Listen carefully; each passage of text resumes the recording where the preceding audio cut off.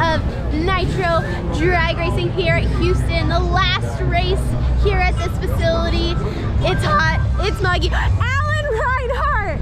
What are we oh, live? What's bigger in Texas? Everything looks bigger. Like what? Everything. Everything. Yeah. Everything. Texas, baby. Everything's bigger in Texas. I mean, I feel like Alan's bigger than me right now too, so. Where's your car? That's what the world wants to know. Why are you not racing here? Charlotte. Charlotte? Charlotte, Okay. yes. I only got a couple more days and I can hit that gas. So I'm pretty excited. So you figured beating them one at a time is too easy? You want to beat them three at a time? Absolutely. Well, Alan Reinhart, the voice of NHRA. Thank not, you for not the stopping face by. of NHRA. Thanks for stopping by. Thanks for you stopping by. You're the one that was coming by. I'm just like standing here getting run over. Okay, take two. Here at Houston Raceway, we're gonna talk to some drivers, we're gonna talk to some crew people, we're gonna see what is really bigger in Texas. Uh, Houston, there's a ton of people here. It's so exciting to see all these fans out. Wish I was racing, but I get to hit the gas in uh, just about six days in Charlotte, so I'm excited. The cheetah machine is coming back, but let's see who we can talk to. Ladies and gentlemen, Blake Alexander. Blake, we got some important questions to go over. All right, what's up? What's bigger in Texas? Uh, food, Food. real estate, but not the prices. What are you looking to do on this run? Go down the track not because that. not many people are. The track's 124 degrees and greasy, so I think that tomorrow this will be like when the semifinals are, though. So you, it would be helpful to know how to get down the track right now. Anything else you want to tell the people of NHRA on Krista's adventures? I love my wife and my mother. Oh, that's a good one. What's bigger in Texas? Bucky's. Buc-ee's. What's bigger in Texas? Nothing. Everything. What? But we shake it out into a tournament tomorrow. Where is my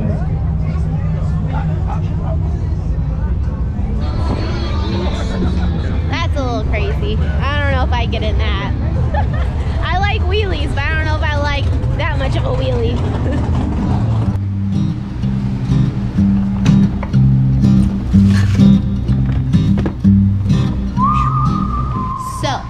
getting ready for first run today on Saturday.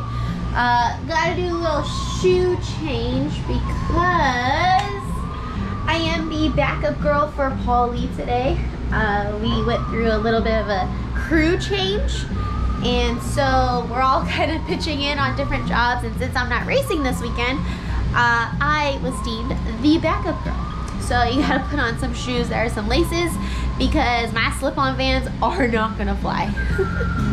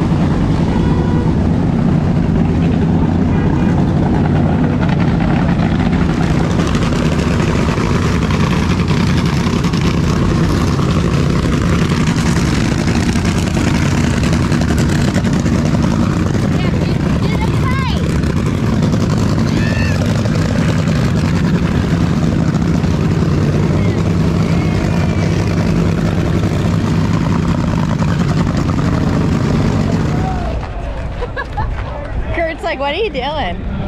Okay, this is where I leave you. You're doing great.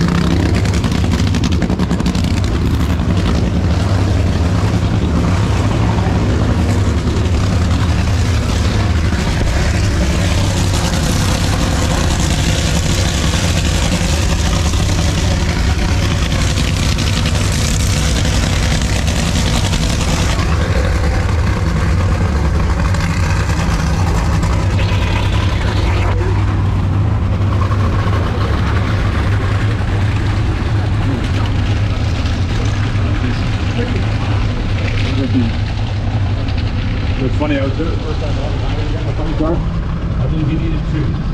That makes sense. Come on, guys. Great small time. Like a duck in water. Here they come. Come on, Paul. Come on, Paul. Well, it's like super greasy out there, you guys. Almost Um, immediately up in smoke. Definitely 38, 60 tricky track an hour. You conditions. get out there and Uh, we probably just had it a little that's another problem. too much uh, for the always has McLeod racing team, but being able to drive it we'll down there and turn, tur- but take it back to the pit find- I'm sorry, that's fine. You guys and see what we can do next to get to round. Top fuel guys had a lot of problems. Got to give you a little bit of confidence going into race day. Yeah, I, uh, I expected it to run about that slow. We Ooh, parked yeah, that thing out there, 9:15. so I knew it was gonna be pokey for all the Definitely we a lot of tough. Bonco people out here. this Tough one for weekend Bob. 'cause we're Ooh, to oh, home, so dang, look at that thanks 80 you light. employees and customers Woo. out there. We appreciate you. My next victim, Clay Millican. I tell you what's been really, I don't know if it's bigger, but it's windy in Texas. I have been thinking all week long, I should have brought a kite. We could have had a who can get the kite the highest. And the reason I even bring that up is it was really windy at home last week. Me and Donna went and bought a kite and like six or seven hundred feet of string. and by the time we get home, the storm was gone and it wasn't windy. I should have brought it with me. Oh, yeah, you should. All right, last qualifier. It's sticky out here. It's hot out here. It's like a hundred and a million degrees on the racetrack. Yes. What are you feeling? I'm feeling it's almost time to go stomp on the loud pedal and let all of these people make sure it goes down the racetrack because you know this and the people watching may not know this. The only thing the driver can do is mess something up. yes, that is You know so what I mean? true. You gotta stay nice and straight and don't lean the car, don't turn the wheel more than it needs. And I'm not saying you don't drive them, but you absolutely, the more square you can keep the car, especially when it's hot, the better your chances are of maintaining traction. So for me, I just don't want to screw nothing up and let all these funks down. At last race here, what's your favorite memory?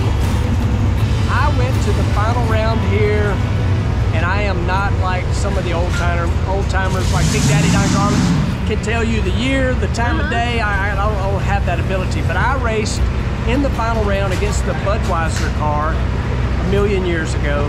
I lost, but that is like the first thing I think of when I come to Houston. First of all, uh, Kaylin, what's bigger in Texas? I don't know. Am I supposed to know the answer to that? Yeah, everything's bigger in Texas. Like, what's bigger? The humidity? As you can see, we're both rocking the braids Yeah, today. yeah, and then the hairspray. I don't. They don't have a big enough can of hairspray. That's the only thing I think they gotta step their game up on. Yes. What's your favorite thing about being the clutch chick? How detailed it is. Like it's intense all the time. It doesn't stop being intense. So like obviously I got, I got a binder full of notes. I'm always got to be on top of it. So it just keeps my mind um, on it all the time. It's challenging. Uh, final question. Is Clay always that happy? Yes, I don't know how he does it. It's crazy. That's it. it's a common question, and everyone's like, "Is he really that way?" 100% all the time. Never seen him not smile. It's crazy. I don't. I wish I could be that happy all the time. Hi, Dallas. How you doing? What a celebrity. What is bigger in Texas? What is the biggest thing in Texas? What is bigger in Texas? What is bigger? Everything's bigger in Texas. I know, but like what? I don't know. This crowd is awesome. I don't know if you've seen this crowd here, but Yeah, it's wild. packed right now. It is wild. You know, you haven't been to Houston too much as a driver, but as a crew person, what is your favorite memory? Um, well, my very first year working, this was the first race I won working with Jason Lyon. This is the our first win as a team with, with me working here, so that was that was something that's special. Plus, this is also the uh, first number one qualifier I got last year. Woohoo! So Hey, What's cracking? uh, what's bigger in Texas, Alex Laughlin? What's bigger in Texas? Yeah. Well, let's start with chicken fried steak. You know, maybe a burger. Uh, you know, I think the cars are faster here. Depends on the day. Uh, all kinds of things. I mean, the state the state is one of the biggest in the country. The airport's gigantic. Uh, besides that, and off the cuff, I'm not too sure. Double duty for you. So tell me, what is the biggest difference from A fuel to top fuel? Oh gosh. crew guys behind them. Well, yes. Hello. we definitely have an awesome, awesome group here. Um, but to start, I guess I would probably say what's uh, what's the same, and it's it's almost everything, right? Between the two categories, they're so similar. However, the biggest difference is the acceleration factor. They are the closest in comparison that that even exist, right? But they are still light years away from each other. And uh, like uh, an uh, alcohol dragster is one of the highest powered cars aside from the nitro category. And when you're looking at the G meter, the highest G's that it's pulling is right at the hit, right? And then from there, it's declining. So if it starts off at 3 G's, it's 2.9, 2.8, 2.7, all the way down the track. Where this starts out at 5 or 5.5 and a half, and actually climbs. And you finish the run at 6 to 6.5. Then you've got about the same amount of negative G's when you step off the gas and the parachute's hit. So you've got about a 12 G swing and it's like it's like it collapses your lungs going down the track because it's pulling so hard you can't even breathe. And then once the parachutes hit, you gasp for air like you're coming up from the bottom of a swimming pool. And as unenjoyable as that sounds, that's one of the best parts about it. Isn't it funny that we can but you still cannot put into words what it's like to drive a top fuel car? Words words don't describe it. What's your absolute favorite part of a complete run in top fuel? Probably, man, that's there's so many good spots, right? The burnout is is one of the best, um, but I'm gonna probably say what's in the first 300 feet, right? Because you hit the gas, it's wheels up, you get to watch the front end kind of dance around like an airplane in the sky, right? And then at 300 foot is where the clutch comes together one to one, and that's when it's like the car takes off a second time. And so that's uh that's one of the most fun parts for me. Like it too. It's pretty addicting. It is, and unfortunately, it's about as the most expensive thing Yes. that exists. So you know, I, I probably should have tried better at becoming a uh, professional golfer or something because that pays way better and costs much less. But uh, I'm living the dream, absolutely. Absolutely. All right, Dallas, was Alex Laughlin. On to the next one. Ladies and gentlemen, the world famous Scott Palmer. Hold on, I gotta get off my old man glasses. What's bigger in Texas? Top fuel racing. Woo! That's the best answer I've gotten right. so far. Yeah. when are we gonna see you back in the seat, Scott Palmer? In the next two races. Ooh, man. Maybe both of them. Who knows? You guys, I want you to know I've been watching Scott Palmer all my life. Oh, all now you really life. make me feel old. Courtney Enders. How's it going? It's good. I love Houston. What's bigger in Texas? What's bigger in? In Texas? Everything. Oh. Oh. E- well, oh. except Chase, he's from Oklahoma. Which is way better. Oh, everything's bigger in Texas. Everything's bigger and better. Ah. Everything's better in Texas, right? Right there. Right. The proof is on Courtney Enders' neck. Right Yes. there. It's bigger in Texas. And Erica's. We're matching. Oh, oh, that sister thing. Yes. There's some girl power going on this weekend. Yeah, I know. The bike situation, Erica and Camrie. Uh-huh. There's Richard messing with you. Richard, What are you say doing? something to the camera. Hey, what's up? Uh, what's bigger in Texas? Texas sucks. Boom. Mic drop. What's your favorite part about racing? The people. People. The people. I could, I could leave all of this behind. I could stay home on Saturdays. The people. The people. I agree. It's family. I agree. Nobody's as weird as we are. Where are we gonna find normal friends? We're the traveling Look circus. found. Hi, hi, hi. Uh, I'll get them. I'll get them. uh, one question. Yeah. What's bigger in Texas? What's bigger in Texas? Yeah.